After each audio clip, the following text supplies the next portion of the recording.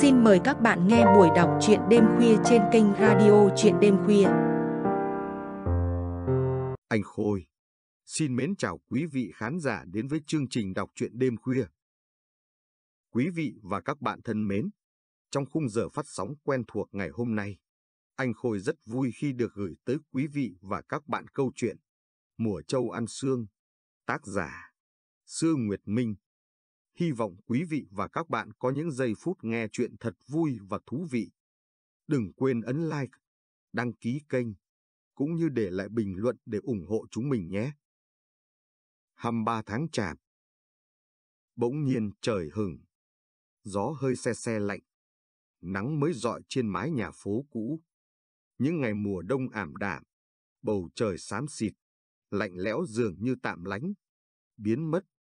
Bọn sinh viên đã lác đác rời ký túc xá, nhà trọ về quê, quất cảnh, hoa tươi từ ngoại ô theo xe thổ, gồng gánh vào phố cũ, lá rong, đào rừng lạng sơn, cao bằng, sơn la, cũng theo người xuống núi về thủ đô.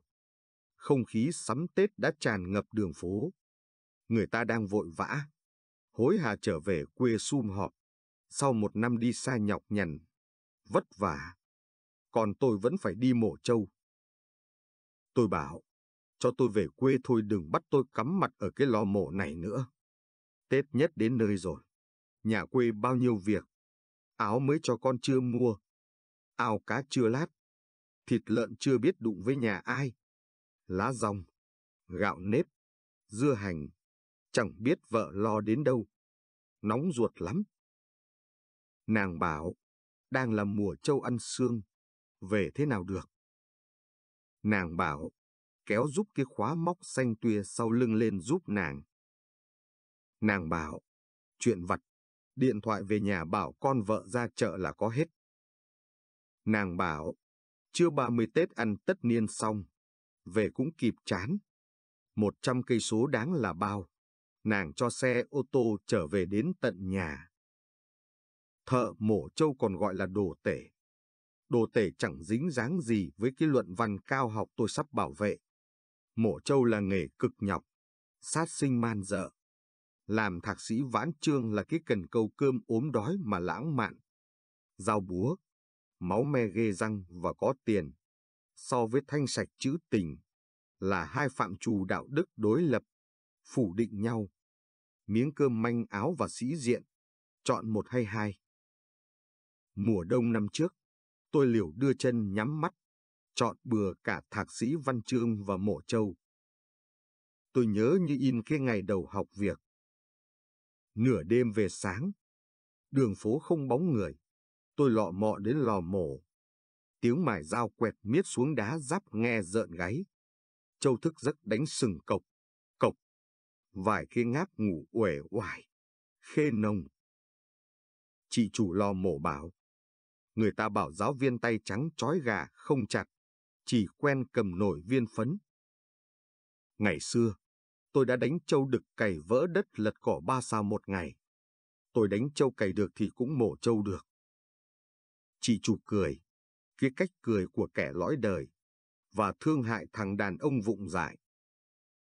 Xuất phát vào đời thầy cũng ngang tôi. Thầy đi cày, tôi là con ở làm thuê. Thời gian nó làm cho người ta khôn lên.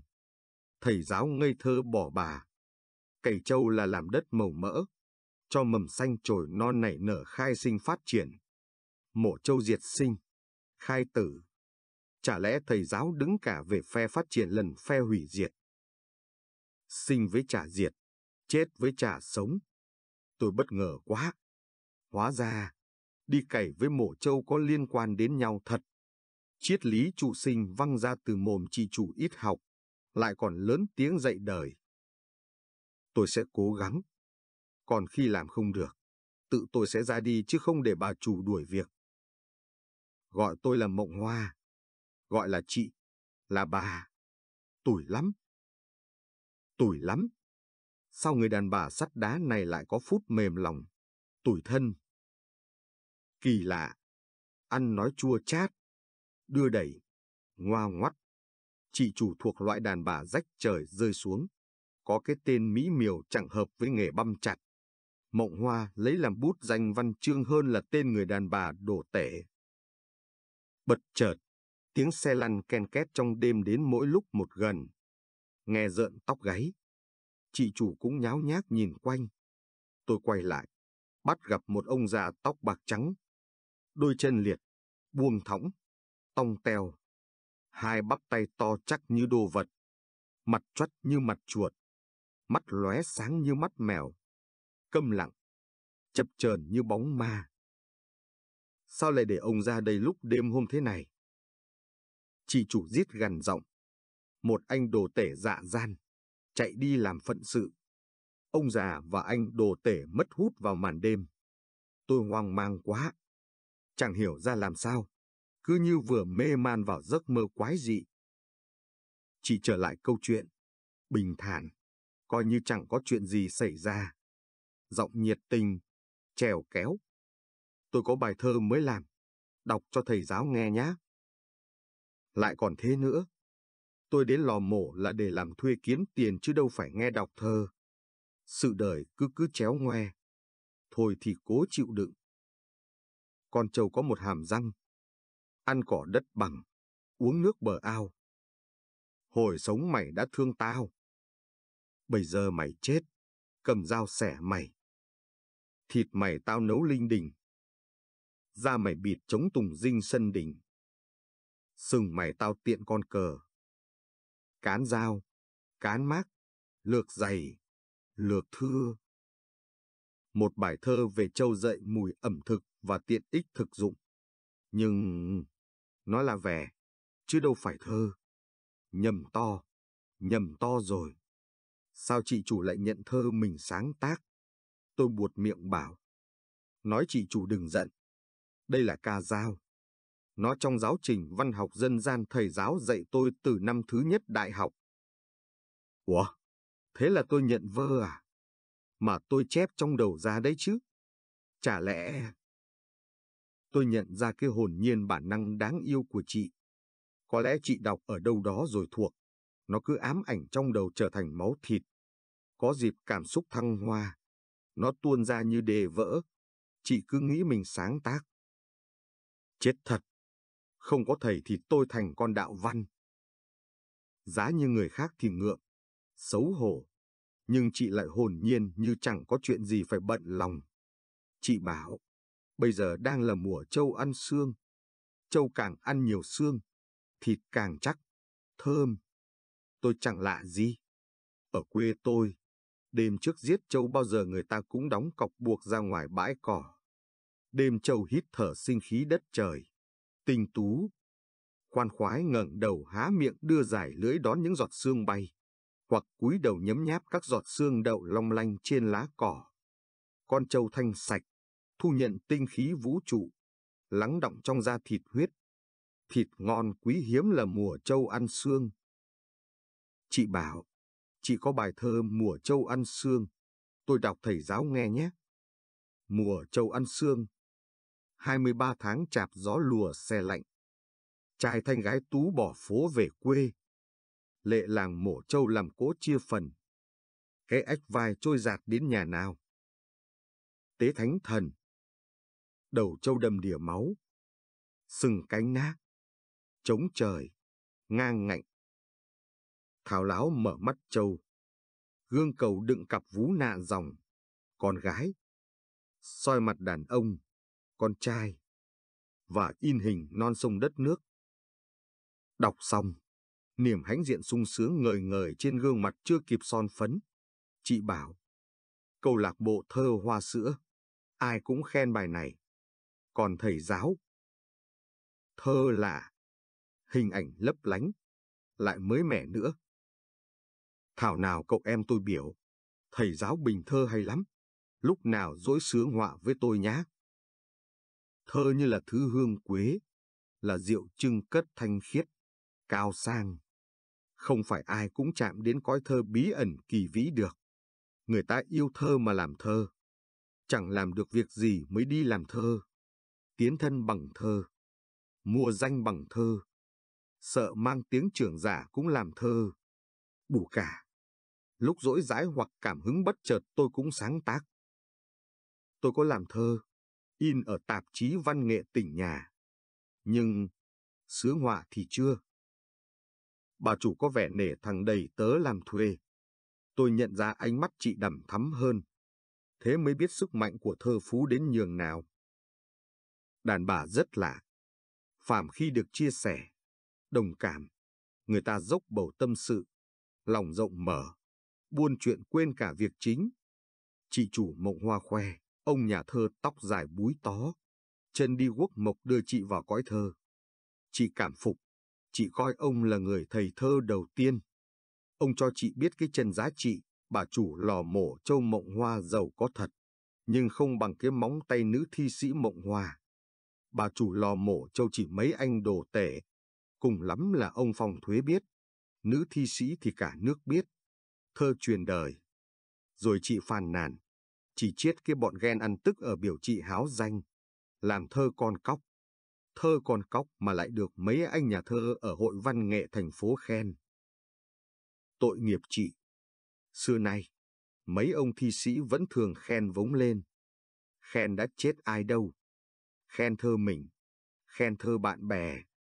Người đẹp làm thơ càng được khen. Nghe các ông nhà thơ thì thân tàn ma dại.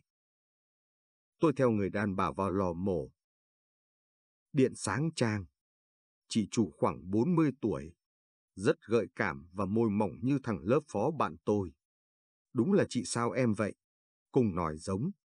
Cấm cãi. Bốn con trâu đã ăn xương. Vừa hạ thủ một con. Đầu trâu cắt rời ra. Móm trồng lên trời. Hai mắt mở thao láo đầy uất ức. Đám đồ tể đang phanh ra dốc thịt. Chậu tiết luộc nóng hổi bốc khói nghi ngút.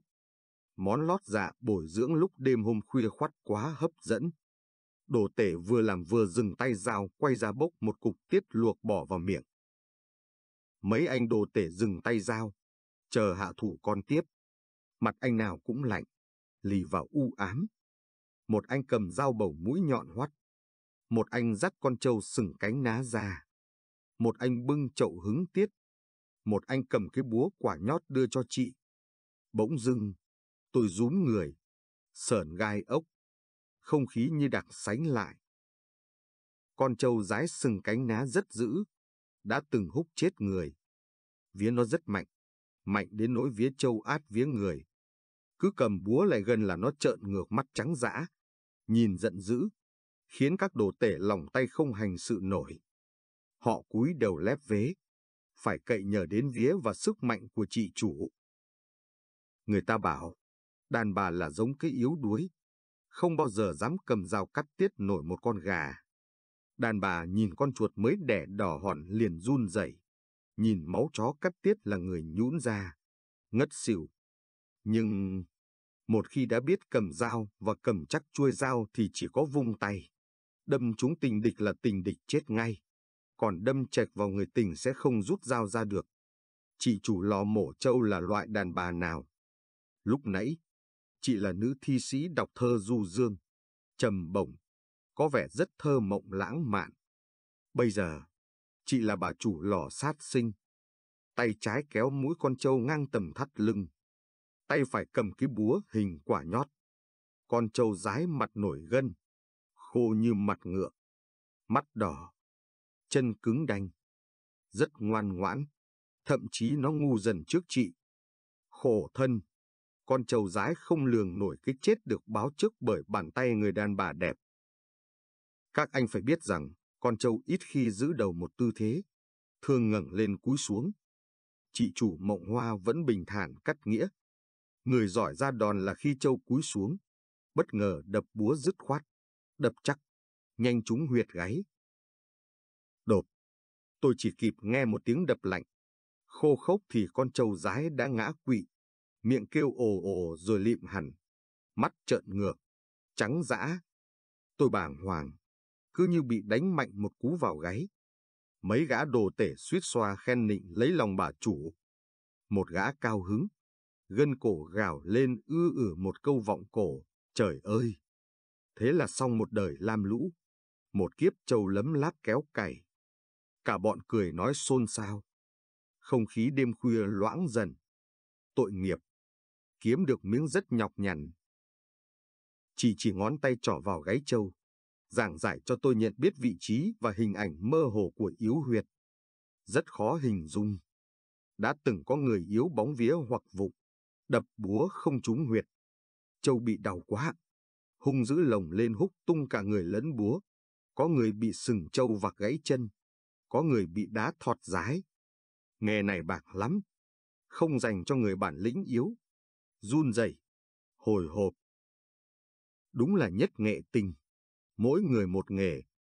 Người đàn bà này thoáng qua là biết huyệt gáy trâu, cũng như tôi giảng văn mùi mẫn quyến rũ bao nhiêu đứa con gái cấp 3 trường huyện, nức nở khóc cùng anh pha, chị dậu, hoặc run rẩy với thơ tình Xuân Diệu Xuân Quỳnh, sao xuyến với các bài thơ áo trắng dung cảm đầu đời của tôi. Công việc còn lại không xa lạ gì với đám đồ tể. Tôi mới đến chưa quen máu nên làm việc vặt, múc nước, làm lòng, quét lông, rửa phản. Đám đồ tể rất thạo việc. Lại một anh phụ bưng chậu bố chuẩn bị hứng. Một anh kéo sừng cho cổ trâu căng ngẳng ra. Một anh đồ tể đưa lưỡi dao bầu ngang cổ trâu. Máu đỏ xối ộc ộc. Mặt mũi tối tăm, tôi toát hết mồ hôi hột. Trời rạng sáng. Tôi vội vã đạp xe về lớp học. Chưa vào học đã buồn ngủ gà gật. Tôi gục đầu xuống bàn. Cái bàn học thời nào cũng thế. Lớp vỡ lòng hay lớp sau đại học cũng chỉ là nơi học trò mải cùi trò và đỡ cái mặt ngủ gật úp xuống. Lò mổ chập chờn hiện ra, những con trâu mắt thao láo mở nhìn xương đồng loại chất thành đống. Mấy gã đồ tể vô học, thô tục, bộ mặt lạnh của nàng mộng hoa. Ông thạc sĩ tương lai, ở lò mổ ổn chứ? Thằng bạn lớp phó vỗ vai tôi, hỏi. Giật mình nhổm dậy, tôi ngơ ngác. Thằng này cười nhăn nhở, ghé sát miệng thì thào. Hơi kẹo cao su phả vào lỗ tai tôi. Chị Mộng Hoa gọi điện bảo tao, cậu có anh bạn thật thà lắm, lại biết làm thơ nữa. Trông ngồ ngộ mà đáng yêu ra phết. Bỏ mẹ, chị ấy mà yêu mày thì chết tao. Để tao chợp mắt, tôi lại gục đầu xuống tránh cái nhìn bạn bè sói vào đôi mắt tôi đỏ dọc ngái ngủ vì thức khuya. Hình ảnh thằng bạn lớp phó chuyên lo tài chính, tổ chức liên hoan, du lịch, đối ngoại lại đuổi theo vào đầu. Thằng này đua con, đẹp dai, sát gái. Chỉ phải cái khốn nạn là môi mỏng và học rốt. Nhập học được hai tháng, thằng này dẫn tôi về quán cầy tơ của vợ nó bên Hồ Tây đãi một trận thịt chó mắm tôm nhớ đời. Có vợ béo ị, được cái nước da trắng kéo lại và nhiều tiền. Hiếu khách. Hai thằng ngồi phòng vip so đũa, gật gù cụng chén. Nầm, chả, lòng, rồi, và lá mơ, mắm tôm, riềng. Toàn gia vị gắt cứ trôi vèo vèo vào cái bụng đói khát của tôi. Rượu ngà ngà, Thằng bạn lớp phó thật thà dặn, tao đi học lấy cái bằng thạc sĩ để làm sang cho con vợ bán thịt chó mắm tôm thôi. Chứ danh giá chó gì? Tôi bảo, đã là lao động thì nghề đếch nào chẳng vinh quang. Cũng đổ mồ hôi sôi nước mắt. Con vợ tao ở nhà đi cấy. Mò cua bắt ốc thì sao nào? Thằng ấy thở dài, đành rằng thế. Nhưng cái dân mình sĩ diện hão, cứ nghĩ bằng cấp mới là trí thức, mới là sang. Chẳng qua con vợ tao nó cú với thân phận bán thịt chó mắm tôm. Muốn làm sang với mấy con bạn cùng lớp 12. Giờ đang dạy mầm non. Dạy mầm già hay mầm non thì vẫn cứ là giáo viên danh giá. Con vợ tao nằm mơ cũng chẳng bao giờ có được. Khổ thế. Đời cứ chéo ngoe. Mày ạ. Những hình ảnh chập chờn đứt đoạn qua nhanh. Tôi chìm vào giấc ngủ sâu rồi ngáy. Tiếng ngáy to, tiết tấu khoan nhạt, có nhịp điệp bổng trầm. Tiếng ngáy đạt đến nghệ thuật hò khoan, tựa như chiến sĩ thi đua ngành lâm nghiệp kéo gỗ. Cả lớp cười rộ mà tôi chẳng biết. Cái Lan có đôi má bánh đúc ngồi bên. Khó xử quá. Má bánh đúc liền nhổ một sợi tóc mai, nhằm lỗ mũi tôi. Ngoáy. Tôi giật mình, tỉnh ngủ. Má bánh đúc thì thào vào tai tôi vừa đủ nghe. Đêm qua, anh đi đâu khai mau? Học. Anh học suốt đêm. Hỏi làm gì? Người anh toàn máu. Đi giết người à? Khiếp. Bàn tay có những ngón búp măng xinh xinh. Móng hồng dơ gương trang điểm ra trước mặt tôi. Cái vai áo, cái cổ, dính máu khô. Tôi chợt nhớ ra là máu. Châu. Mấy gã đồ tể cắt tiết châu. Máu bắn phạt vào người lúc nào chẳng biết. Đỏ mặt, miệng ngậm hột thị, ấp úng. Anh đi làm thêm ở lò mở.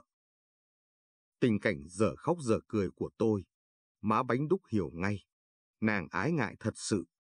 Nàng tỏ ra thương hại và thông cảm, nhét vào tay tôi kia khăn mùi xoa.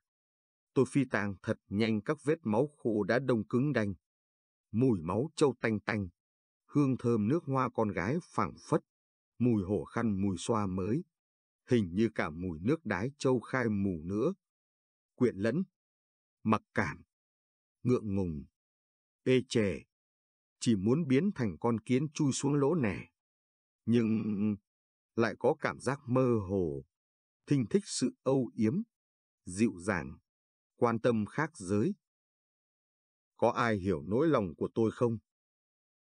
Chị chủ lò mổ có đứa con gái gần 20 tuổi đang du học ở Mỹ.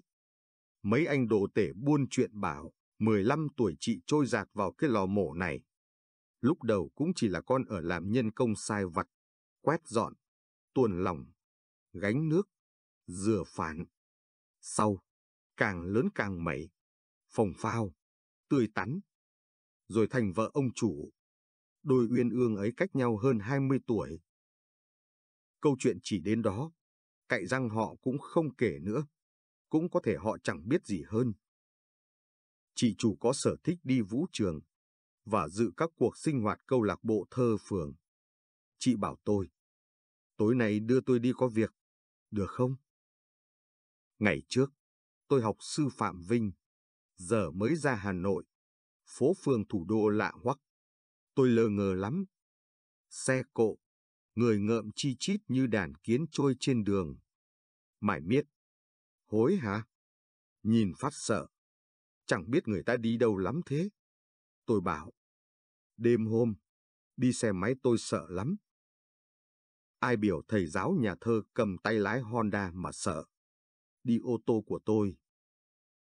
Đi thì đi. Tôi không quá ngạc nhiên. Chị chủ lò mổ có ô tô riêng, có tài xế riêng chẳng có gì lạ. Con xe Camry 3.5 màu đen bóng loáng, hàng hiệu từ Hoa Kỳ, hơn tỷ đồng, sang quá. Người đàn bà và tôi cùng ngồi ghế đằng sau. Nước hoa phun quá tay thơm ngát mũi. Lúc này, tôi thực sự cận kề bà chủ mộng hoa. Phồn thực quá. Thân hình phốp pháp, ngực vú vòng to ninh ních dưới làn áo thun màu mỡ gà. Váy đỏ ngắn nửa đùi. Giày cao gót màu trắng. Cổ tay đeo đồng hồ vàng Omega lấp lánh.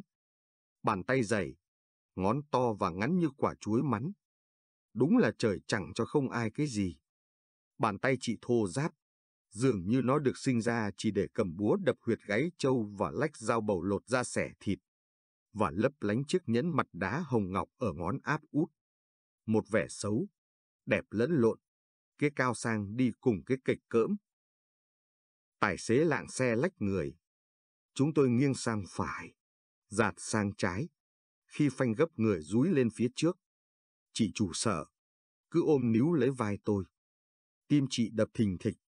Tim tôi đập liên hồi. Xe bon bon, bằng lặng. Chị chủ vẫn nắm tay tôi, vô tình đặt lên đùi. Đùi chị nóng hôi hổi. Chật vật mãi. Cuối cùng chúng tôi cũng đến nơi cần đến. Người đàn bà xuống xe. Ngực hơi ưỡn về phía trước theo thế vú tấn công mông phòng thủ. Chị khoác tay tôi như cặp tình nhân bước vào sảnh vũ trường. Chốn này không dành cho bọn trai trai hip hop giật đùng đùng. Toàn nạ dòng và đám đàn ông hói chán nghỉ hưu đến tập nhảy. Công thành danh toại, nhiều tiền, nhưng cuộc sống tẻ nhạt quá, tập nhảy. nuối tiếc một thời hoài phí tuổi xuân ở chiến trường, tập nhảy.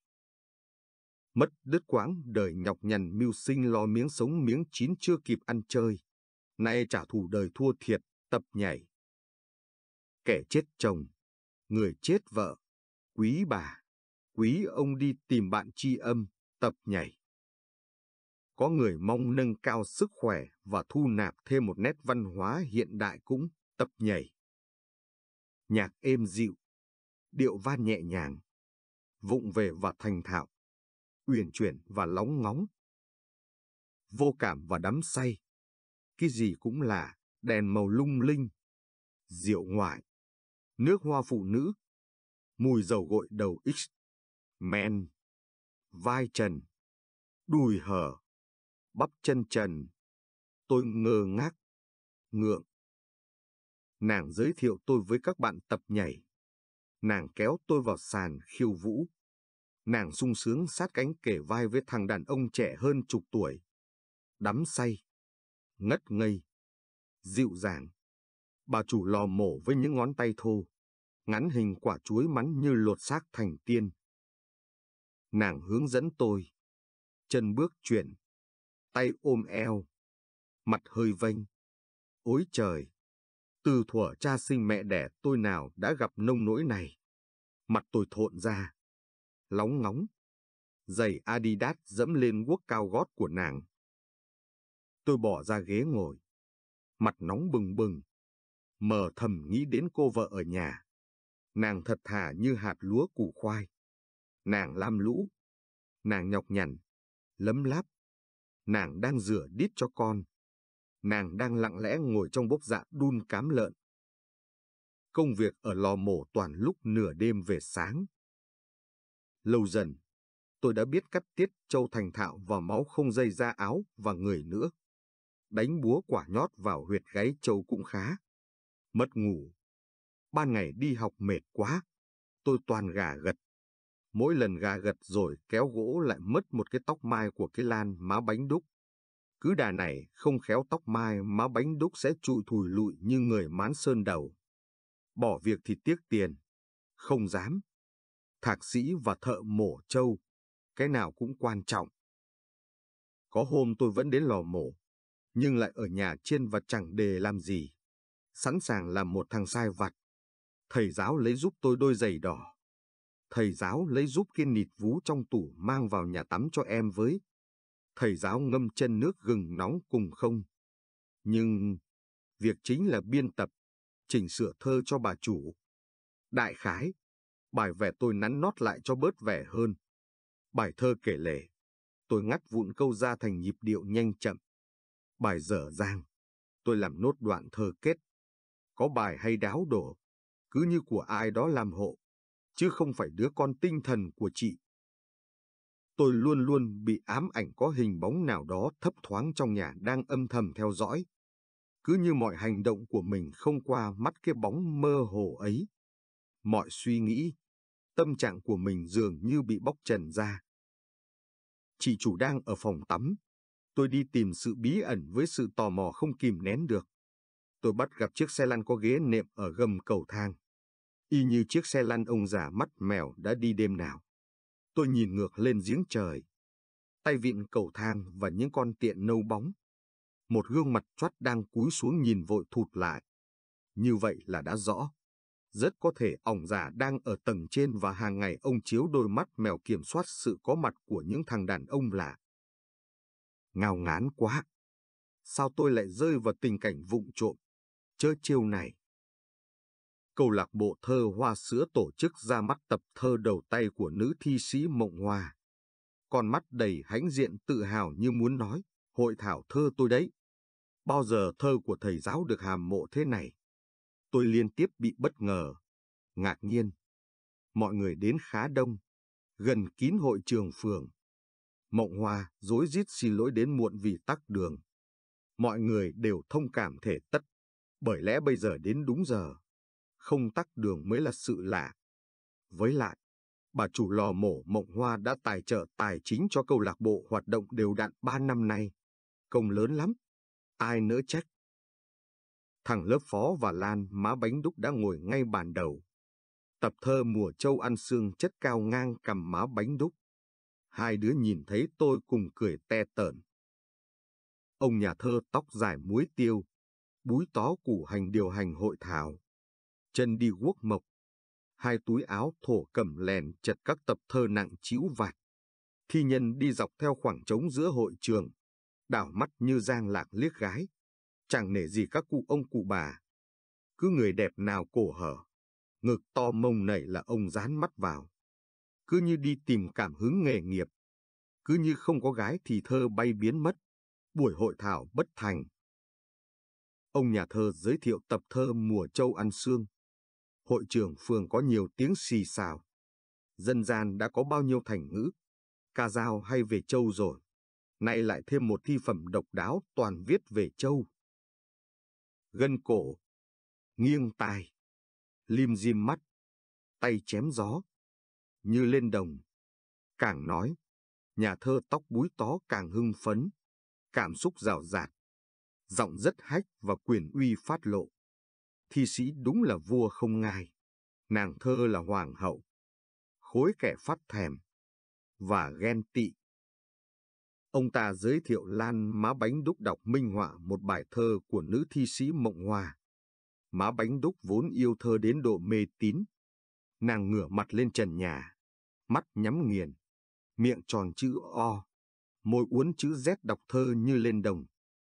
Mùa châu ăn sương, cánh đồng trơ cuống dạ, đi từ đêm sang ban mai. Bước chân châu đóng dấu hoa đất, móng guốc in hình sẹo đất. Vũng xương chân châu động vành trăng cuối tháng. Tôi vục mặt uống như hút vũng mồ hôi. Mồ hôi châu lẫn mồ hôi người trộn mồ hôi đất. Giọt mồ hôi nào hơn giọt mồ hôi nào. Lại bài thơ mùa châu ăn xương tôi đã nghe chị chủ đọc. Nhọc nhằn quá. Ai đã thấy châu đổ mồ hôi chưa nhỉ? Nhà thơ đi quốc mộc bảo. Giọng em rất truyền cảm. Nóng bỏng. Đam mê. Ông ta đi vài bước. Nói tiếp. Anh nào vớ được cô gái này yêu.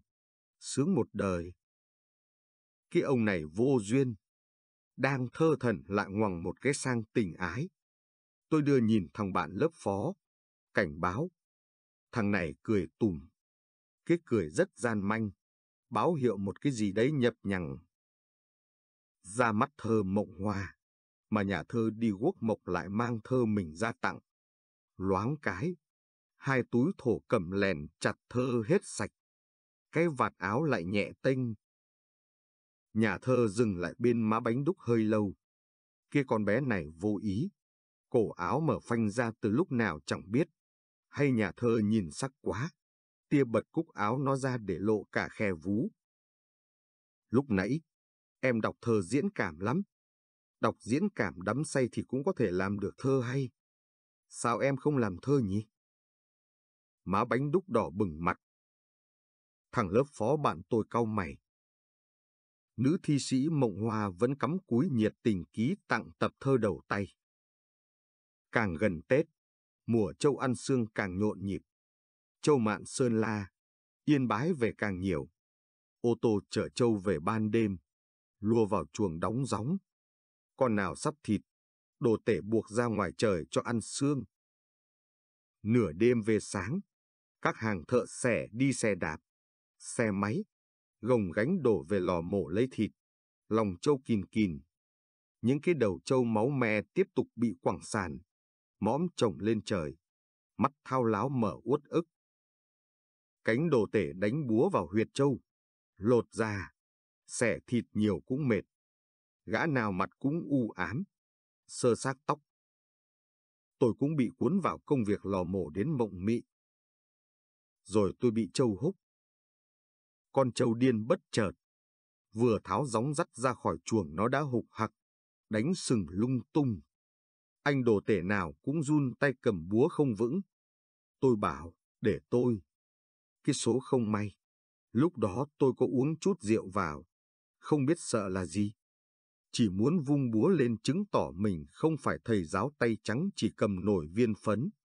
Búa quả nhót giáng xuống đầu trâu, rồi trượt xuống chán. Con trâu điên phản ứng tự vệ tức thì. vặc đầu húc. Cái sừng đánh đúng vào bụng dưới và hạ bộ. Tôi ngã lăn bất tỉnh. Con trâu phóng vọt ra khỏi lỏi mổ, lao vun vút trong đêm tối. Nó chỉ dừng lại và đổ uých xuống thành đống thịt ra khi húc phải bức tường rào đá có chân móng dày gần một mét. Tôi mơ màng thấy ông già thỏ cái đầu tóc bạc loà xòa nhìn tôi. Ông vắt hai chân liệt lên cổ. Ông nắm thành cầu thang tụt xuống vèo vèo. Ông đắp cho tôi một tấm chăn mỏng. Ông nhìn tôi bằng con mắt buồn bã, thương hại. Và ông thở dài. Tôi chợt tỉnh dậy. Ông già vội vã chống tay lết đi ngay. Lết đi vì ông không muốn cho tôi nhận ra con người tàn tật sống trong bóng tối. Ông bám thành cầu thang nhoăn nhoắt leo lên tầng. Thoát hiện. Thoát ẩn. Tôi nhận ra mình nằm chơi trên tấm phản làm lòng trâu. Anh em đồ tể khiêng đặt tôi nghỉ tạm ở phòng khách bà chủ. Lúc nào chẳng biết. Tôi ngây ngấy sốt. Tấm chăn mỏng làm tôi đỡ rét run. Giếng trời một vuông sáng trắng. Vẫn cái đầu tóc bạc lòa xòa và đôi mắt mèo ẩn hiện. Lấm lét nhìn trộm. Đau quá. Bụng dưới căng tức. Tôi sờ xuống hạ bộ. Hai hòn rái sưng to như vốc tay. Nóng hổi. Nhức buốt. Một anh đồ tể sao lá ngải nóng đắp cho tôi. Cái đau dịu dần. Tôi hất đầu lên cái người tàn tật đang câm lặng đang thập thò đầu phía trên giếng trời. Anh đồ tể nhóng mắt nhìn theo. Bảo. Chồng bà chủ đấy. Ông ấy bị nặng hơn anh. Sao thế? Châu đá vào rái, chưa đã nó còn bổ móng lên sống lưng. Liệt, cấm khẩu. Cái nghề này bạc lắm. Khốn nạn. Ê trẻ quá. Tôi không khóc mà nước mắt cứ trào ra. Tôi lặng lẽ về quê. Thằng bạn lớp phó và má bánh đúc đánh xe ô tô đuổi theo. Chị Mộng Hoa nhà tao đang vừa khóc vừa làm thơ về mày cũng là lỗi tại tao. Tôi lặng im. Thằng bạn tôi đâu có lỗi gì. Nó muốn tôi có tiền ăn học, giúp gia đình. Nó muốn chị nó khuây khỏa nỗi buồn thân phận. Thôi, cũng may. Mày về đi. Từ giờ đến Tết kiêng nhá. Giao thừa xong hãy ngủ với vợ. Năm mới mày sẽ đẻ một trăm con trâu.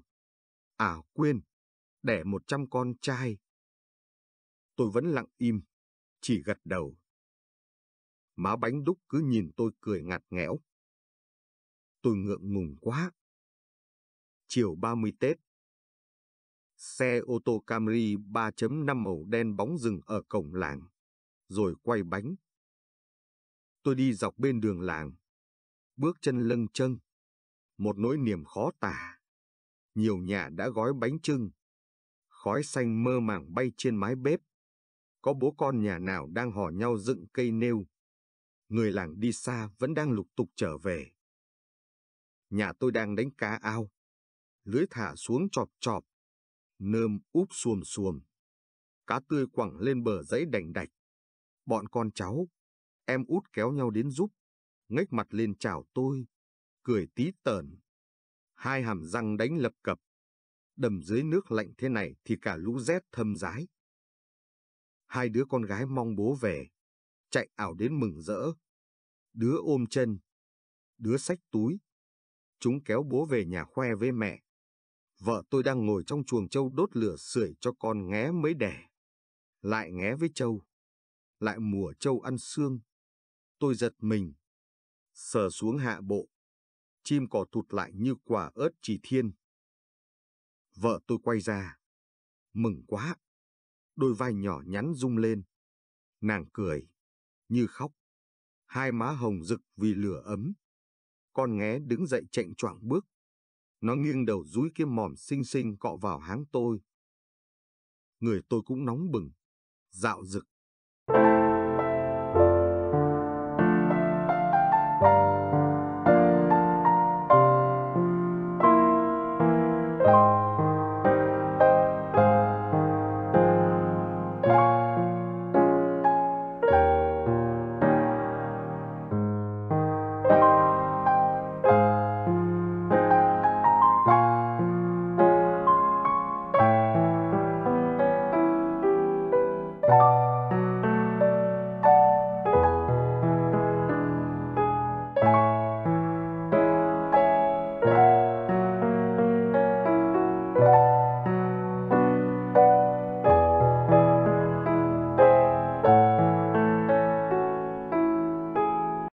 Chương trình, mời quý vị và các bạn cùng đón nghe tập truyện ngắn mang tên Kiếp sau làm chó. Tác giả Trương Thành Sơn Vừa gặp chuyện rắc rối trong chuyện làm ăn, Hằng mệt mỏi lái xe về nhà, với tâm trạng vừa bực bội vừa buồn. Vào đến cửa, đập vào mắt cô là căn phòng khách như bãi chiến trường. Còn dích, cún yêu của anh xã len lén sợ, vì nó mắc lỗi đã lôi cuộn giấy vệ sinh ra xé tơi bời. Thu dọn xong, không nỡ phạt thằng cún dích vì nó biết ăn năn. Cứ thăm dò mãi rồi mới ra ngoáy tít đuôi như xin lỗi bà chủ. Vẫn bực, nhưng Hằng đã dịu đi nhiều. Vì ngoài mẹ mình ra, còn Dích là sinh linh duy nhất trên đời luôn nhìn cô với cặp mắt yêu thương nhất, trung thành nhất. Bị mắng nó cũng ngoáy đuôi, bị đánh phạt nó cũng như mừng được ban phát tưởng thưởng. Khốn nỗi, đâu chỉ có vậy, thấy mùi hôi thối. Hằng bước vào bếp thì cô thấy thùng rác đổ chành ảnh. Đám đầu tôm, ruột cá đã bắt đầu phân hủy bị lôi ra khắp nền nhà. Thủ phạm đương nhiên là cún rồi. Máu nóng bốc lên ngùn ngụt. Hằng không thể kiềm chế được nữa. Đá rất mạnh vào bụng thằng cún. Đầu nó đập vào tường. Chỉ ẳng một tiếng rồi chân dãy đành đạch. Thằng Rick sau đó tỉnh. Cố lết vào gầm cái tù. Nằm im như thóc. Trong tâm trạng tức tối. Lại quá mệt. Nên ngay khi chồng đi làm về. hàng xa xà mắng cho anh một tăng vì lỗi mang thằng Dích về nuôi. Anh lặng lặng vào bếp quét rác, lau nhà. Tối ấy, hai vợ chồng giận nhau. Anh xã lúi cúi nấu nướng rồi ăn một mình. Còn Hằng đi tắm, vào luôn giường trùm kín chăn. Nàng ngủ thiếp đi, rồi mơ thấy mình là một con chó nhỏ, vì nghịch ngợm mà bị chủ đá cho gãy xương sườn. Vùng tỉnh dậy, Hằng liếc đồng hồ đã 12 giờ đêm chồng vẫn chưa lên giường. Cô thấy đèn dưới nhà còn sáng, vội chạy xuống thì đập vào mắt cô. Chồng đang cặm cụi chăm sóc con dích. Nó đang nôn ra mật xanh mật vàng. Thế là hai vợ chồng vội vàng đưa dích ra xe đến bệnh viện thú cưng. Người ta khám rồi lắc đầu, bảo dích bị chấn thương sọ não, đồng thời gãy xương sườn. Chúng tôi sẽ làm hết sức mình song chỉ có thể chăm sóc để nó ít đau đớn thôi. Khả năng phẫu thuật cứu được không cao. Vâng, xin các anh nỗ lực hết mình. Con vật rất kiên cường. Sau khi phẫu thuật vẫn sống được thêm hơn 30 tiếng, gây tốn kém gần 10 triệu đồng của ông bà chủ. Khi nó đi, chỉ có hai giọt nước mắt đọng trên mi mắt, nhưng bà chủ thì khóc như mưa rừng, ướt cả mấy cái khăn bông chồng đưa cho giờ mỗi đêm hàng đều mơ thấy kiếp sau mình làm chó ở một nhà rất nghèo, bị hành hạ đủ kiểu. Được hai tháng sống trong giàn vặt, mệt mỏi do vốn bị bệnh trầm cảm, giờ bệnh càng trở nên nặng. Cộng nhiều nguyên nhân, từ chuyện làm ăn thất bát đến vợ chồng lục đục, từ con không ngoan đến họ hàng trách cứ, cuối cùng thêm cú huých cái chết của Dích, đã đưa Hằng quyết định xuống tóc để lên chùa đi tu tích đức chuộc mọi lỗi lầm mình đã gieo. Hy vọng kiếp sau, cô có làm chó thì cũng không bị hành hạ.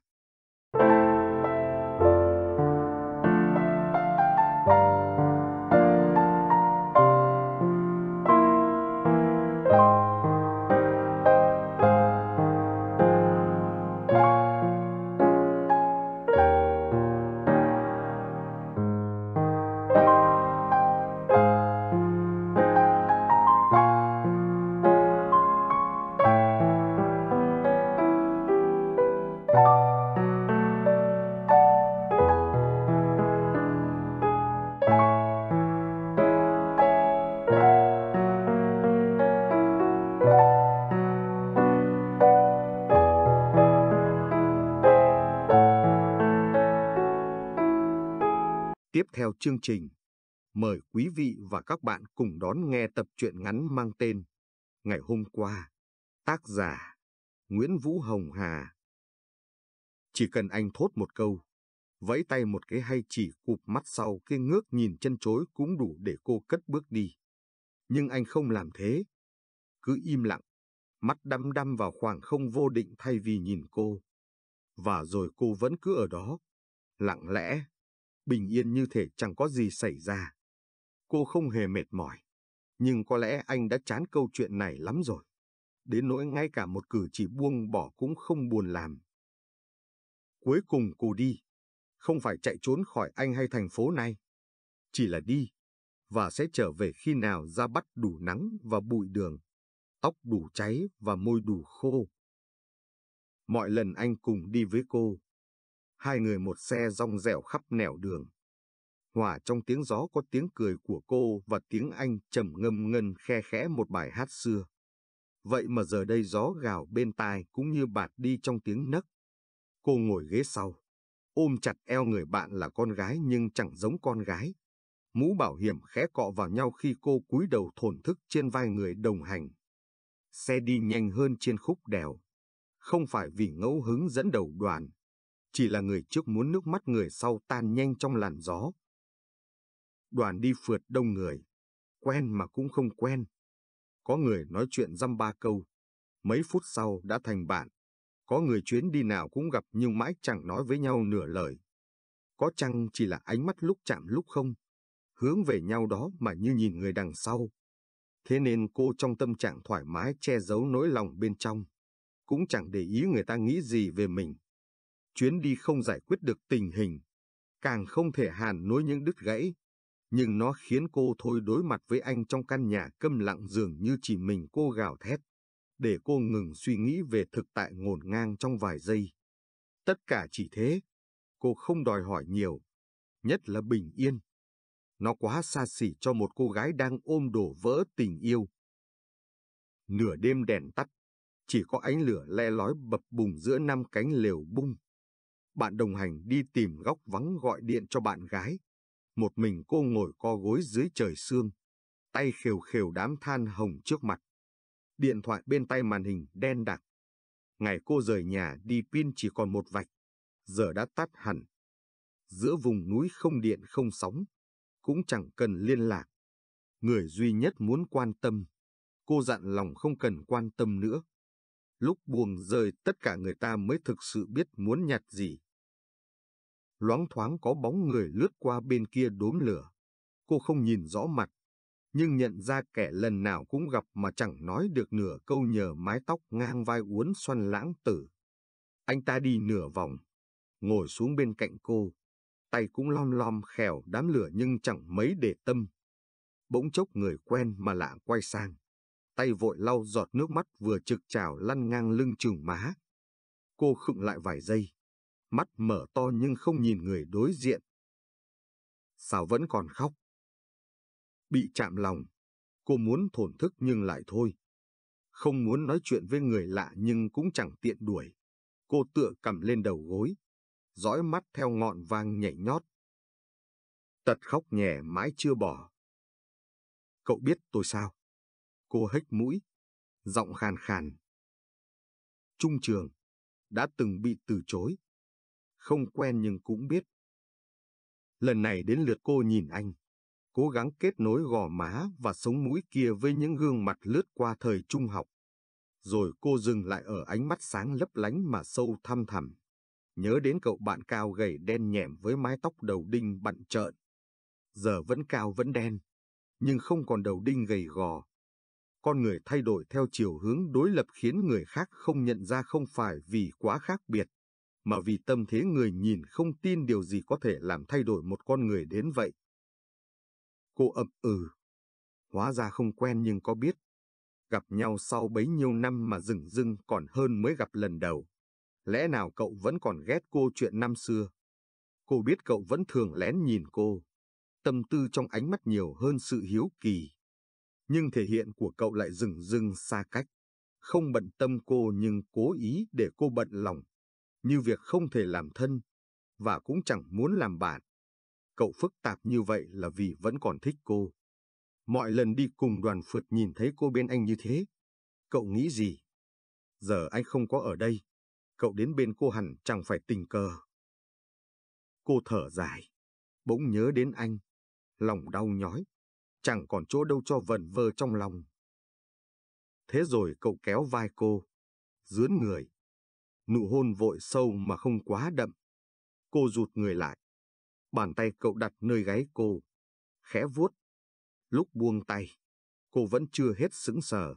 Còn cậu đã vội đứng dậy, bỏ đi trước khi cô sực tỉnh cho một cái tát. Ngày trôi qua, trời sáng trong trẻo và gọn ghẽ như thể ngày hôm qua cũng đẹp như nờ ngày trước đó. Hành trình trở về đơn giản và gọn ghẽ. Cô ôm eo bạn đồng hành. Ngoài lòng dạ dối như tơ còn vần vơ nụ hôn tối nọ. Ánh mắt họ thi thoảng vẫn giao nhau, nhưng tựa như không thấy. Chuyến đi phượt nửa tháng khiến cô gái được thành phố bao bọc trở nên sơ xác hao gầy. Cô đứng ở cửa nhìn vào nhà, hành lý xếp ngổn ngang dưới chân. Anh từ trong bếp đi ra, thoáng thấy bóng cô thì đứng sững lại, tờ báo tay trái và ly trà tay phải khựng trong khoảng không. Đôi mắt đen sâu lần đầu nhìn cô lâu thế, không đắm đuối không ham vọng, chỉ như ngắm một đồ vật quý sau thời gian lãng quên cũng có thể bị hao mòn. Mất cả phút để cô lưỡng lự bước vào. Anh đặt ly nước lên bàn, giúp cô xếp đồ vào. Mắt cả hai giao nhau trong thoáng chốc. Cô nán lại dưng dưng còn anh dừng dưng như chẳng có. Trước khi đi làm anh còn pha cho cô ly nước ấm viên sủi. Cửa vừa đóng lại, ly nước văng lên tường, vỡ tan. Những tia nước bắn ra hòa cùng với nước mắt. Khóc sau một thời gian dài kìm nén khiến người ta chìm trong đau khổ tưởng chừng không thoát được. Cô vui đầu trong gối ngủ một giấc sâu không mộng mị, vì quá mệt, và vì lòng dối bởi bao tâm tư không có điểm nút. Tỉnh dậy trong bóng tối lờ mờ nhờ chút đèn đường hắt sang. Mắt cô đối diện với sống mũi nghiêng và đôi mắt thăm thẳm. Anh nhìn cô, môi hơi mím, như thể muốn nói gì đó nhưng thực ra chẳng biết nói gì. Ký ức đêm nào trên triền núi mở xương lách tách lửa hồng ùa về. Cô choàng sợ hãi, vội đẩy anh ra. Tay cô chỉ cách anh một lớp áo mà bỗng chốc trở nên xa vời. Anh đi rồi. Căn nhà cô độc nuốt chừng lấy cô bé nhỏ và mọi thứ hiện hữu trong nó. Cô cũng muốn bước chân đi nhưng dáng ở lại, vì nghĩ phải đợi anh trở về. Đêm sâu thoáng lạnh. Cô quấn chặt tấm chăn mỏng, ngồi lên chiếc bàn con nhìn ra ban công, để ánh đèn lập lòe qua đôi mắt cận không kính. Ở xa cô nhớ anh vô hạn, vậy mà khi gần bên anh bỗng chốc trở nên lạ lẫm. Bởi bức tường anh tạo nên trước đó, bởi cái chạm của người xa lạ, bởi sự vụn vỡ trong lòng cô, và bởi sự xuất hiện của người con gái bên anh đã biến tình cảm của cô trở nên khô khốc. Nhắm mắt tưởng chừng cũng có thể chảy ra máu. Tờ giấy đặt trên bàn. Anh không ký. Thế nên cô bỏ đi, để lại tất cả đồ đạc và ký ức nơi đã từng có hai người. Vẫn là không chạy trốn, vì cô chẳng mong được tìm lại vòng bánh đều đều. Cô ôm chặt người bạn gái đồng hành, nước mắt thôi rơi. Chiều đổ nhanh trên triền núi lặng, một mình cô với gió với sương. Họng khô môi ướt, chỉ có mắt mở to nhìn vài tia nắng khuất sau núi. Cô nhớ anh, nhưng nỗi nhớ đó đã là của ngày hôm qua. Xa xa, mái tóc xoăn chấm bờ vai ngang thấp thoáng. Bước chân chậm rãi tiến gần, không hấp tấp không ngập ngừng. Cô thoáng cười mà lòng lạnh băng. Cỏ vẫn còn dạp một góc mà người đã bỏ đi. Cậu ngồi xuống chỗ cô để lại, nhìn bóng nhỏ xuôi nhanh theo con dốc.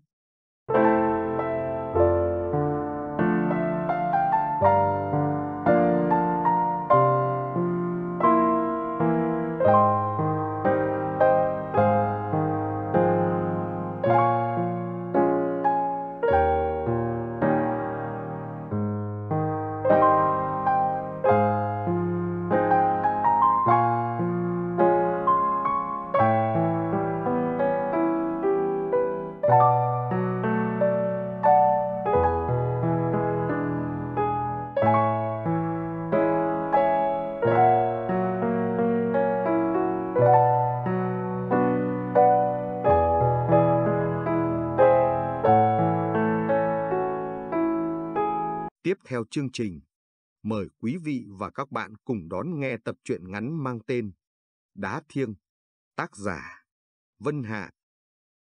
Tâm trạng bất an và những lo sợ mơ hồ ngày càng tăng đã làm thầy giáo Huy bỗng dưng sinh bệnh. Bất cứ ai tới thăm, vừa định cất tiếng chưa kịp hỏi thầy đã nhanh nhạy đáp trước, dây thần kinh lo âu. Tôi bị rối loạn dây thần kinh lo âu. Dù trong sổ bác sĩ ghi chẩn đoán, rối loạn lo âu do thần kinh suy nhược. Bác sĩ khám cho thầy tình cờ lại là một học trò cũ của thầy. Một trong số những tên học trò thành công trên đường đời. Nhưng người ta hay nói về những người có nhiều bằng cấp, có một công việc tốt. Khi tên bác sĩ nhận ra thầy, hắn nhìn thầy như đứa trẻ nhìn quả bóng bay vừa xẹp. Không ngờ Mr. Huy đạo mạo điệu đà ngày xưa giờ lại thế này.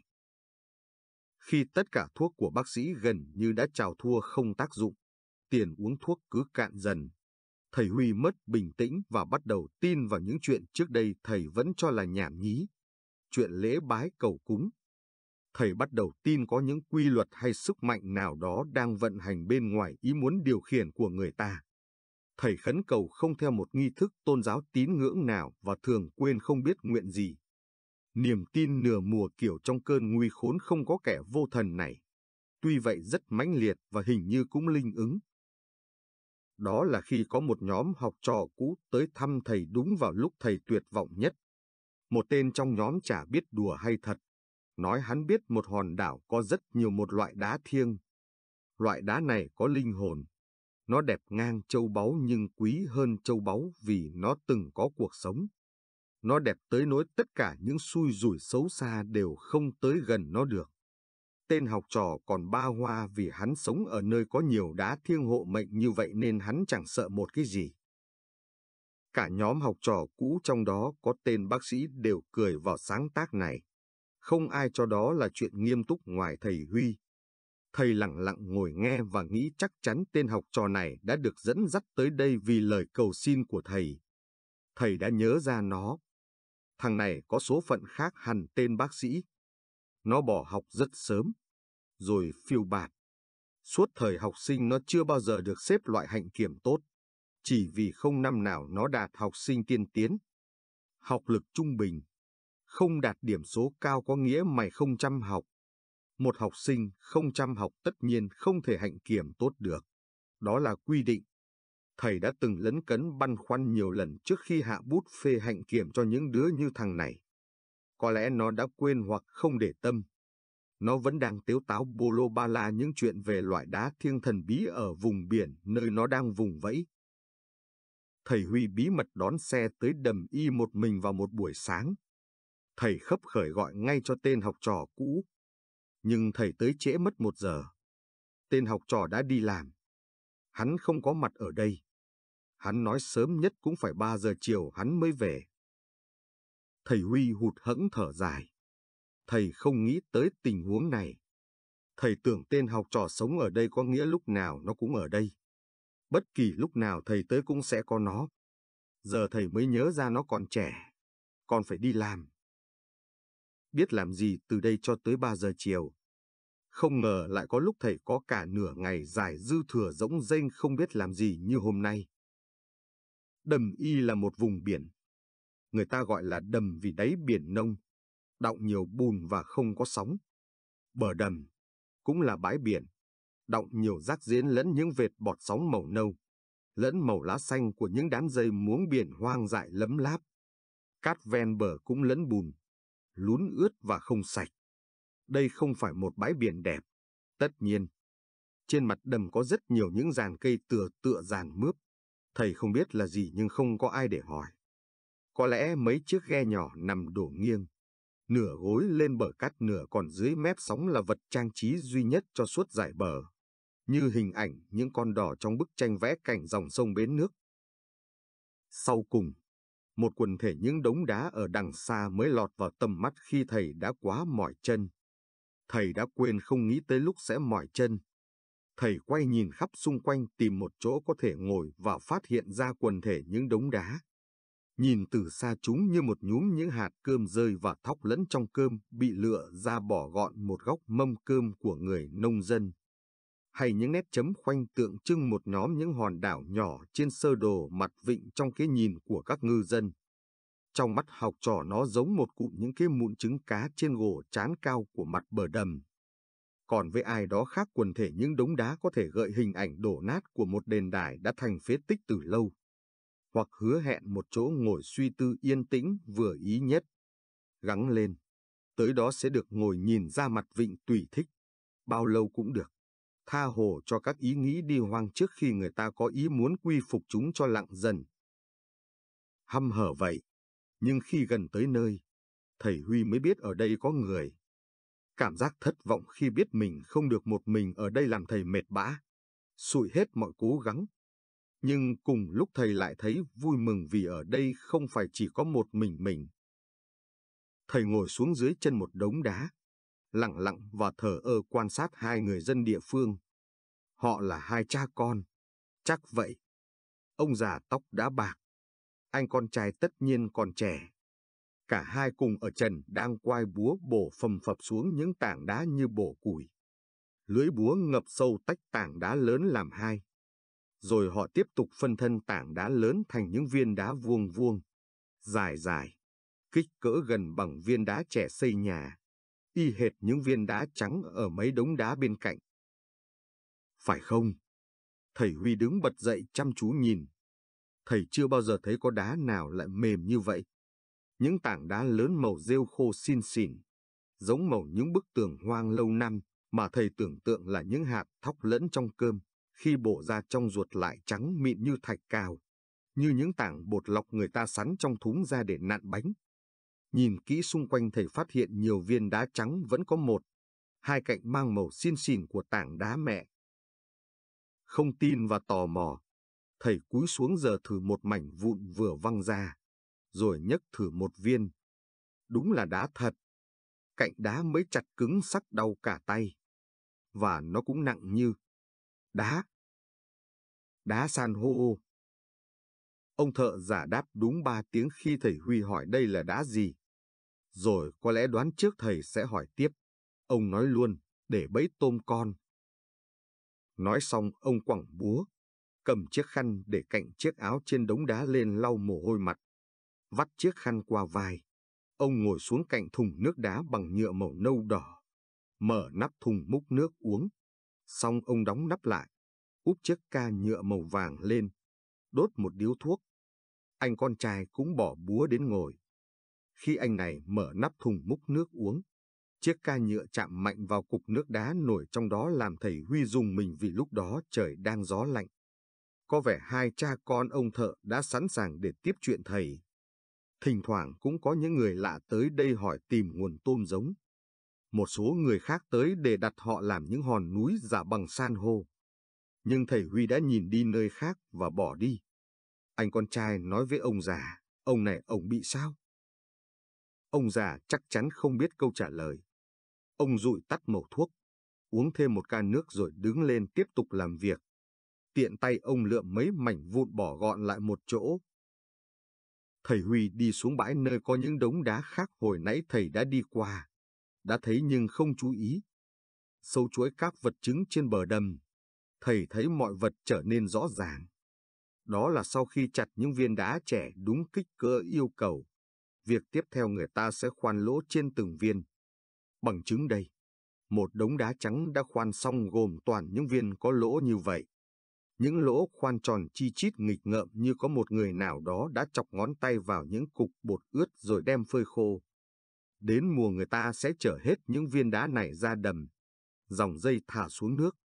Những dàn mướp gác dày đặc cây que trên mặt đầm kia là để người ta cột dây neo những cục san hô vào đó và cứ mỗi sáng sớm những chiếc thuyền kia lại bơi ra đầm. Những người trên thuyền nắm lấy sợi dây cước màu xanh này lần lượt kéo từng cục đá lên. Họ ngó nghiêng tìm những cặp dâu tôm con thỏ ra từ những cái lỗ khoan như hai sợi anten.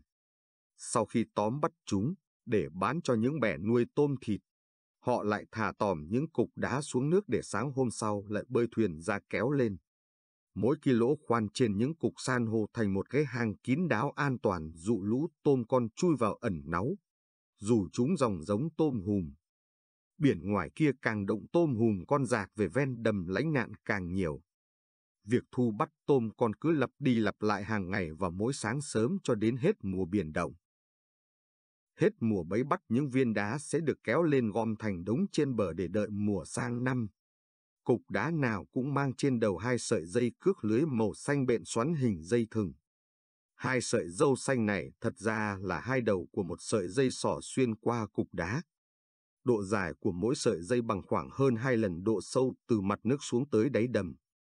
Nhìn cả đống đá cứ xã sợi xanh xanh những sợi cước dài lòng thòng như những đường mạch máu ốm yếu bệch bạc, như chúng chưa từng óng ả xanh biếc lúc còn nguyên trong cuộn mang từ cửa hàng về.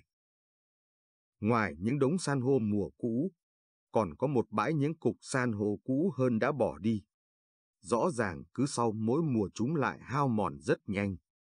Sóng biển bào mòn làm chúng nhỏ dần đi, biến dạng, trơn lì, không còn cạnh sắc và kích cỡ ban đầu, cũng không còn trắng nữa. Màu trắng của ruột đá lúc mới chặt ra dần dần trở lại màu rêu cũ ban đầu.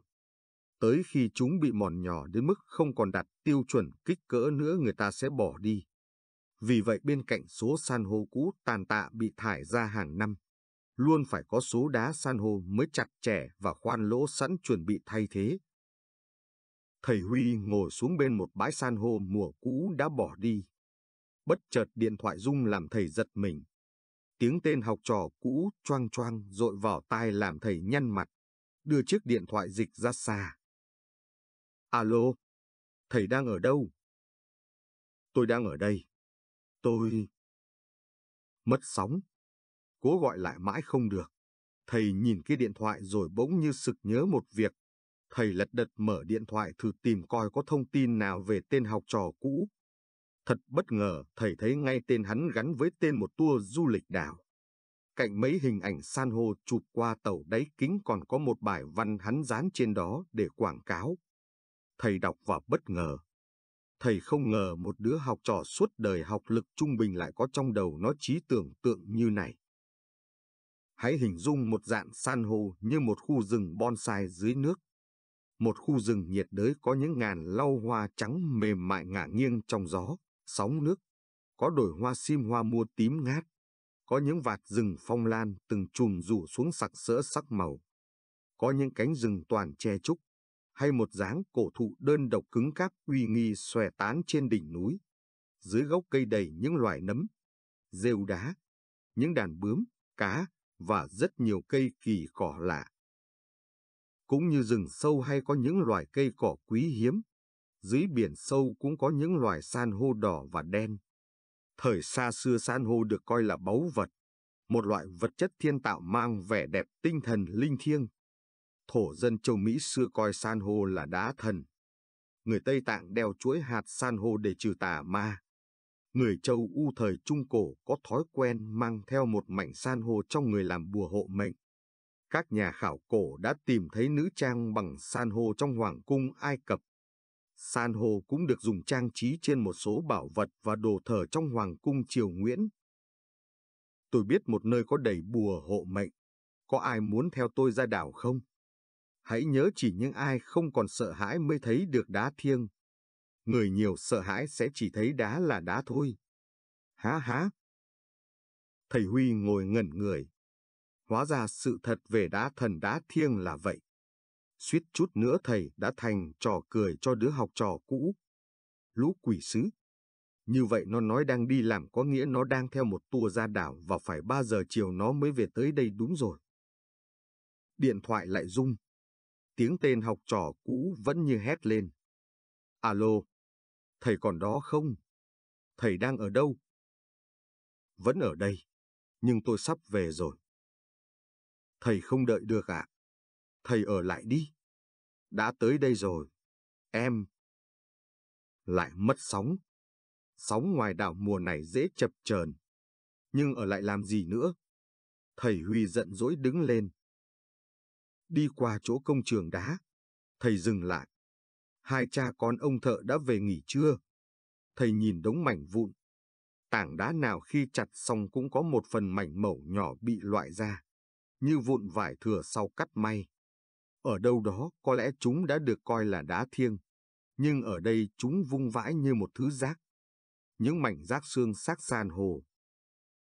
Thầy có đọc được ở đâu đó rằng ấu trùng san hô khi mới nở trong trứng ra sẽ trôi nổi trong nước cho tới khi nó gặp được một dạng san hô để bám vào, phát triển và lớn lên. Một khi đã tấp lại nơi đâu con san hô sẽ phải gắn bó thân xác nó với dạng san hô đó suốt đời, cho đến khi nó chết đi và cả sau khi chết. Sau khi chết xương xác nó vẫn dính bám tại chỗ, làm nơi đậu lại cho những ấu trùng san hô đời sau. Cứ vậy đời này qua đời khác, thế hệ này qua thế hệ khác, trồng chất, qua hàng trăm, có khi hàng triệu năm để hình thành một đảo đá san hô trở thành những dạng san hô vĩ đại che chở cho lũ tôm cá dại dưới biển, rồi lại bị chặt chẻ thành những cái bẫy bẫy tôm con, rồi hao mòn, thành đồ bỏ trên bờ. Đâu là ý nghĩa? Có con san hô nào sống được muôn triệu năm để thấy suốt được hành trình này? Lũ tôm hùm có thể không oán san hô, nếu chúng thích được nuôi trong lồng no đủ, an toàn và không cần tiến hóa Cuộc sống tự do ngoài biển cần thiết để linh hồn tiến hóa, nhưng chẳng dễ dàng gì, đầy rình rập hiểm nguy. Làm sao để không sợ hãi? Thầy Huy cầm lên một mảnh xương xác san hô tổ tiên. Thầy kính cẩn để nó ngay ngắn lên đống đá cao và cúi lạy. Nước mắt bỗng ứa ra. Thầy gỡ kính xuống lau. Qua màn nước mắt thầy bỗng thấy màu trắng ruột san hô đẹp thật. Vẻ đẹp của nó không giống ngọc, thầy thấy như nó có linh hồn. Từ nãy, hai cha con ông thợ đã xách đồ nghề ra. Họ tò mò nhìn thầy Huy. Anh con trai che miệng nín cười. Bị họ bắt gặp, thầy Huy lúng túng ngượng ngùng bỏ đi. Đã sang chiều rồi. Không nhanh sẽ không kịp đón chuyến xe cuối. Nhưng thầy vội về làm gì chứ? Dây thần kinh lo âu thì thào run rẩy. Nó sợ những thử thách quá sức lại làm nó rối loạn bất an. Thầy bỗng cảm thấy đói. Đã lâu lắm từ ngày bị bệnh thầy không biết đói. Không có cảm giác thèm cơm. Thầy Huy quyết định ở lại gặp đứa học trò cũ để ngày mai theo nó ra biển. Mai cũng là ngày tên bác sĩ hẹn thầy tới để hắn tái kiểm tra. Khi nghe thông báo thầy Huy đang ở biển tìm kiếm đá thần, tên bác sĩ cười ngất, hoang mang. Hắn nói, bệnh nặng rồi. Còn tên học trò đá thiêng lại thấy vui khi nhìn thầy Huy chơi với những màu san hô trên đảo. Hắn mừng vì ông thầy đã chịu xa được nơi phát bệnh để tới đây với hắn.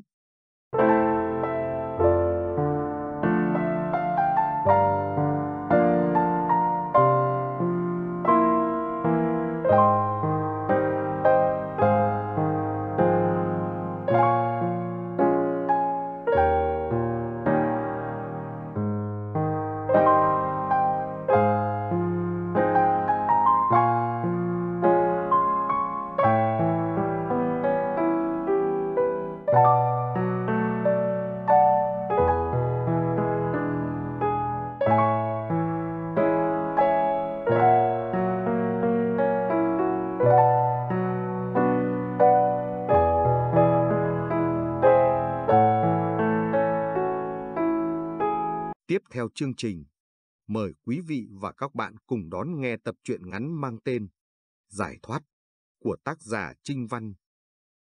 Người ta chỉ công phu khi không bị ngoại cảnh quấy nhiễu, dẫu cố hướng tâm về Phật, nhưng trong bà lúc này tâm cảnh của quá khứ cứ ùa về. Đã hơn 40 năm, đã quá xa xôi sao nó cứ hiện về rất rõ. Và rồi Ni Sư cứ ngồi như pho tượng để xem lại đoạn phim đời mình bắt đầu từ lúc là cô giáo mới ra trường. Mặc dù cố giữ lấy tà áo dài nhưng gió vẫn như trêu người. Cứ vẫy tung khiến cô giáo đến lớp lần đầu thêm bối rối. Ai đó đã ví tà áo phất phơ trong sân trường như cánh bướm. Nhưng trong hoàn cảnh này cô không thấy nó đẹp chút nào. Nơi cô được phân công là một trường tiểu học nằm sâu trong vùng hạ lưu sông Hậu. Vậy là đã hơn ba tháng cô trở thành cô giáo, đã thực hiện được ước mơ. Gió chiều từ sông thổi vào, mưa dầm từ trời chút xuống, tiếng ếch nhái, côn trùng từ cánh đồng vang lên khiến cô đi vào giấc ngủ mỗi đêm một cách vô cùng mệt nhọc. Hàng ngày, cô vui với tiếng đánh vần, với những đôi mắt tinh khôi của những đứa trẻ bơi xuồng đi học. Hàng đêm cô sống bằng kỷ niệm về một tình yêu đẹp. Anh ấy là một người lính. Lấy chồng thời chiến tranh mấy người đi trở lại. Đâu ngờ lời thơ này ứng vào số phận của cô. Dẫu chưa là vợ, chỉ là trên tình bạn nhưng cô vẫn để tang cho một cuộc tình. Liệu thời gian có làm lành vết thương lòng? Và cô giáo trẻ đẹp này sẽ được hạnh phúc. Sau giải phóng cô không còn đi dạy. Cha mẹ đã mất. Chỉ mình cô là con độc nhất. Mưu sinh của cô bây giờ là dựng lên một mái che nửa trại, nửa lều để buôn bán ven đường ngay trước cửa nhà. Cô vẫn chưa chồng dù đã ở tuổi 50. Bảo, tên đứa trẻ cô xin về nuôi, giờ đã 19 tuổi.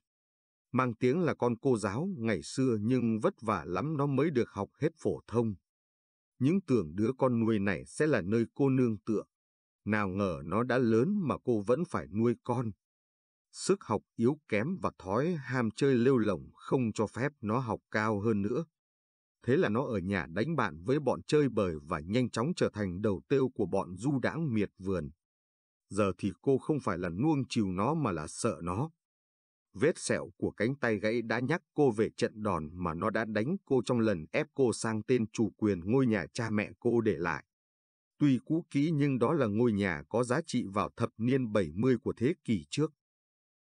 Có lẽ trong cuộc đời cô, lời nói khủng khiếp nhất mà cô nghe được là lời tuyên án của tòa mà cả cuộc đời cô không thể nào quên. Căn cứ vào điểm H, khoản 4, điều, điểm S khoản 1 và khoản 2 điều. Điểm G, khoản 1, điều của Bộ Luật Hình sự đối với bị cáo Trần Kim Bảo. Xử phạt bị cáo Trần Kim Bảo 20 năm tù về tội mua bán trái phép chất ma túy. Thời hạn tù tính từ ngày bị bắt ngày 16 tháng 5 năm. Nhà thì nó đã bán trước đó. Giá bán bao nhiêu thì cô không biết. Nó có cho tiền cô hay không và cho bao nhiêu thì xóm giềng không biết.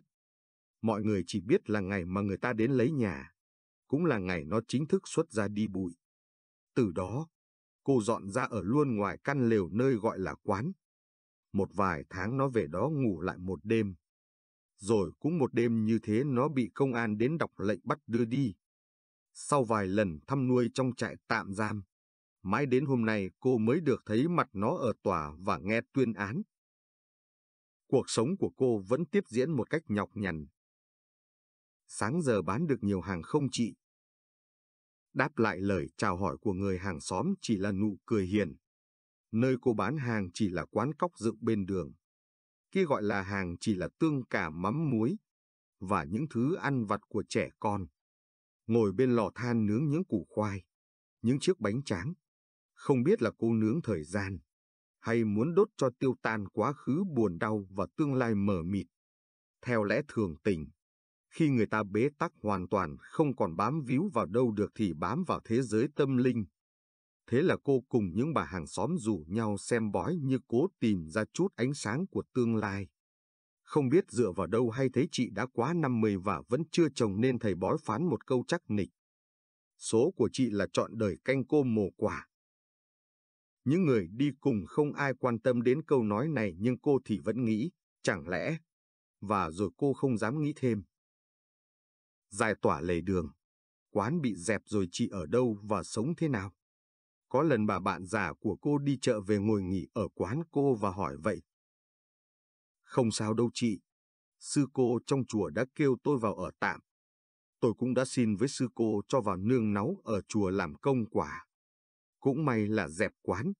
Trên phường có cho chút ít tiền gọi là đền bù chắc tôi cũng đủ thuốc thang. Cây bồ đề cổ thụ trong chùa mùa này lá rụng nhiều quá. Chỉ một cơn gió nhẹ cũng làm cho nhiều chiếc lá vàng rơi như những cánh bướm chập chờn. Chúng lượn mấy vòng rồi đáp xuống mặt sân chùa đầy những rêu phong rồi dính chặt vào đó. Sáng nào cũng vậy. Người đi đường luôn nhìn thấy một ni cô già vừa quét lá bồ đề vừa như tâm sự với chúng. Vậy là cô giáo ngày xưa. Bà chủ quán nghèo năm trước nay đã là một ni cô. Hơn ai hết, Cô hiểu rất rõ là mình không có căn tu bởi tiếng mó lời kinh chưa bao giờ làm cô thiền tâm tịnh trí. Sư nữ trụ trì cũng nhận thấy điều này. Sở dĩ cô thành ni cô cũng là do lời sư nữ. Chị giờ đã già, A-di-đà Phật, thầy chỉ sợ chị không còn đủ thời gian để đợi chú Bảo trở về. Đức Phật từng nói rằng, ai cũng có Phật tánh, ai cũng có thể tu tập thành Phật. Vậy chỉ có muốn phát nguyện tam quy nương nhờ cửa Phật. Dạ, nếu sư cô đã chót thương thì tôi xin được quy y. Trong lễ quy y thí phát, từng mớ tóc hoa dâm rơi xuống cô cảm thấy như từng mảng quá khứ đau buồn được vỡ ra. Từ nay cô đã trở thành con Phật, đã chính thức phát nguyện quy y. Nếu tinh tế, mọi người có thể nhận thấy giọng nghẹn ngào trong ba lần đọc lời phát nguyện. Đệ tử là Tâm Nguyên, thế danh là Trần Kim Hạnh xin suốt đời quy y Phật, quy y Pháp, quy y Tăng. Cô đã định hướng và cầu mong cô được đi hết chặng đường Tam Bảo, đi theo con đường Phật Bảo, giữ giới luật Pháp Bảo và noi gương Tăng Bảo. Cầu mong cho cô trên đường tu tập không bị vô minh che khuất mà quên đi Tam Bảo. Nhẫm tính đã hơn sáu mùa sen nở. Hoa sen trong ao chùa đã bao lần khoe sắc phô hương là bấy nhiêu năm cô sống trong thương nhớ đứa con nuôi. Nó luôn hiện diện trong những lời cô cầu nguyện. Cứ mỗi năm bốn lần, Ni sư già đi thăm con với tay sách nách mang những thực phẩm chay mà cô có được trong chùa. Có lẽ năm nay là năm cuối cùng cô thăm nó bởi bây giờ cô già yếu lắm không còn quét sân chùa nhưng người đi đường vẫn thấy mỗi sáng cô ngồi trong sân chùa chăm chút bữa ăn cho những con chó chạy rong. Rồi chiều đến, ngồi trên băng đá sân chùa, cô hướng đôi mắt trắng đục về cõi xa xăm. Sáng nay, không phải ngày vía nhưng những người quanh chùa bỗng nghe vang lên những tiếng đại hồng trung và ni sư trong chùa tất bật chạy đi chạy lại. Thì ra ni sư tâm nguyên đã về cõi Phật. Thanh thản ra đi cô nhé tất cả những nghiệp nhân của cô về ngôn ngữ, ý nghĩ, hành vi, cùng tất cả những cảm giác giờ đã được giải thoát. Hoa khai Phật quốc, vườn hoa nước Phật giờ đã nở thêm một bông hoa. Không biết ngày trở về của Trần Kim Bảo, đứa con nuôi mà cô hết mực yêu thương sẽ ra sao. Nó đã trả giá cho những tội lỗi của mình và giờ đã được trả tự do. Liệu lương tâm có cho nó con đường giải thoát?